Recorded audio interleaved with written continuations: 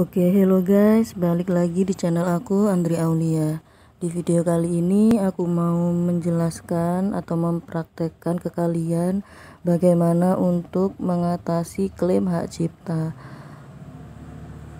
Klaim hak cipta ini berbahaya ya bagi channel kita apalagi buat uh, YouTuber pemula. Jadi Sebelum monetisasi, kalian harus cek terlebih dahulu apakah kalian mempunyai klaim hak cipta di video kalian. Kebetulan di sini aku punya satu klaim hak cipta. Nah, di sini di sini ada tulisan klaim hak cipta. Caranya eh, kalian untuk eh, mengatasi klaim hak cipta ini kalian klik aja tulisan klaim hak ciptanya. Seperti ini. Di sini video Anda tidak memenuhi syarat untuk monetisasi karena klaim hak cipta. Kalian langsung saja klik lihat detail.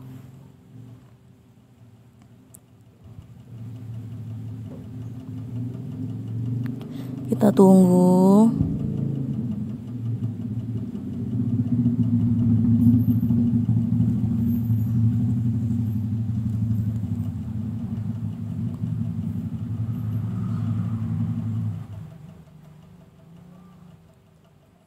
ini masih loading nah seperti ini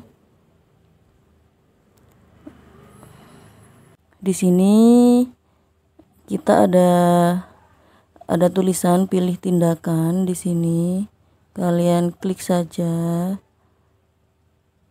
di sini ada pilihan hapus konten yang diklaim atau sengketakan.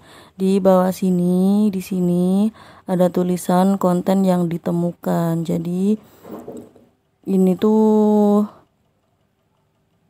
yang diklaim hak cipta cuma di detik-detik 441-nya aja gitu loh.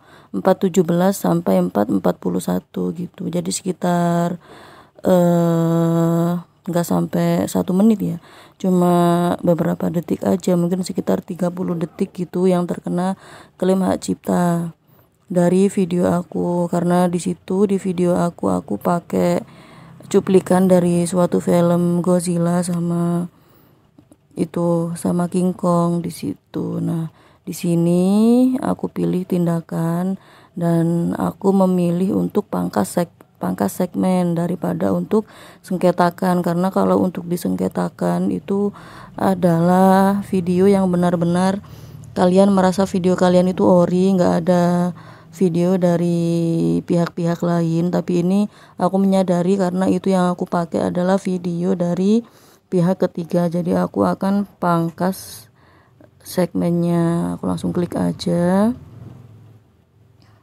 Kita tunggu.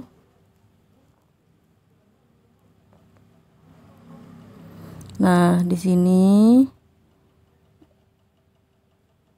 ada itu, ada waktu dimulai sama waktu berakhir yang dipangkas. Jadi yang dipangkas adalah dari ke detik 416 sampai 440. Kita langsung saja klik lanjutkan seperti ini. Di sini tulisannya proses ini perlu waktu agak lama. Setelah video Anda ditrim, kami akan memperbarui pembatasan penayangan atau monetisasi video tersebut. Status video akan tetap seperti saat ini hingga proses selesai. Langsung saja klik pangkas.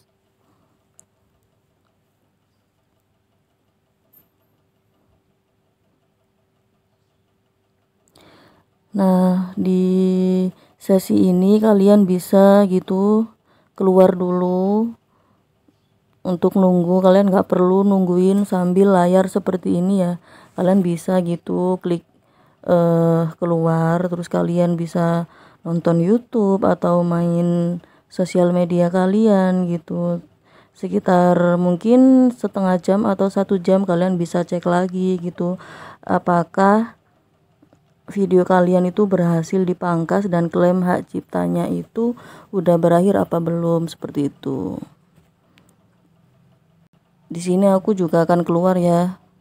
Nanti kalau udah e, klaim hak ciptanya hilang nanti aku akan cek lagi apa benar-benar hilang atau enggak gitu kan. Seperti ini.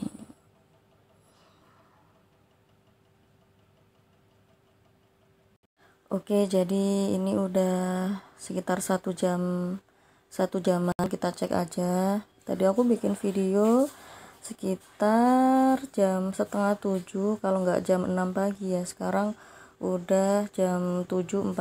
Sekarang jadi aku mau ngecek yang tadi klaim hak ciptanya udah hilang apa belum gitu kan. Nah, di sini udah hilang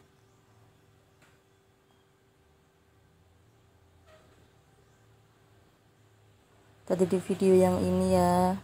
Hak ciptaku klaim hak cipta. Sekarang tulisannya udah eh, klaim hak cipta udah tidak ada gitu. Jadi sekarang semua video aku udah bebas dari klaim hak cipta. Seperti ini semuanya juga publiknya tulisan mata publiknya itu warna hijau semua. Nggak ada yang kuning. Nah nggak ada ya. Udah bersih dari klaim hak cipta Oke, jadi seperti itu. Bagi kalian yang terkena klaim hak cipta bisa lakuin apa yang aku lakuin barusan. Segitu aja dari aku untuk review atau untuk tutorial hari ini. See you on my next video. Bye bye.